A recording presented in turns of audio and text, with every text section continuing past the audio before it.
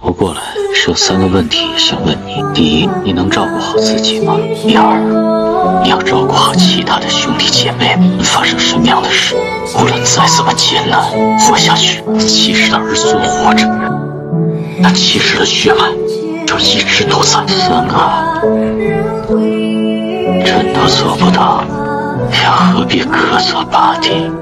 朕一定会撑到你登基的。小红书